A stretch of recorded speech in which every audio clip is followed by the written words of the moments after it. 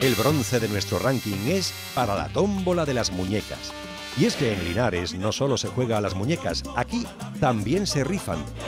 Esta particular tómbola se realiza cada mes de mayo con motivo de la fiesta del voto en honor a la Virgen de Linarejos.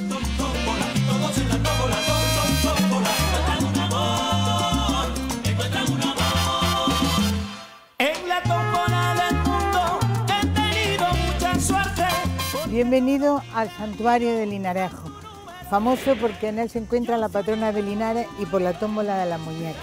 Y cada año, para celebrar la fiesta del voto, aquí se encuentran más de 2.000 muñecas y todo eso tiene estanterías donde están todas ellas colocadas y en esta parte de aquí es donde se venden los boletos.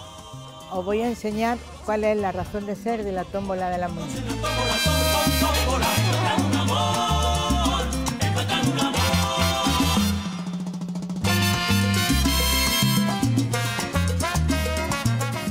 Verdadera protagonista de la tómbola de la muñeca es la Virgen de Linarejo, nuestra patrona.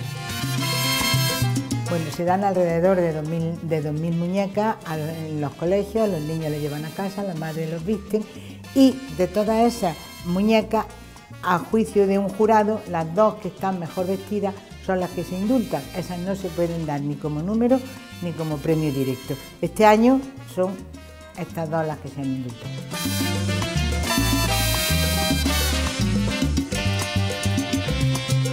Estos son los boletos de la tómbola, se hacen unos 160.000, por un lado tienen la Virgen, por el otro lado arte socio. Y si lo abrimos, si podemos, me quito, dejo la muñeca, aquí aparece un premio, que es un punto. Con 100 te dan una muñeca.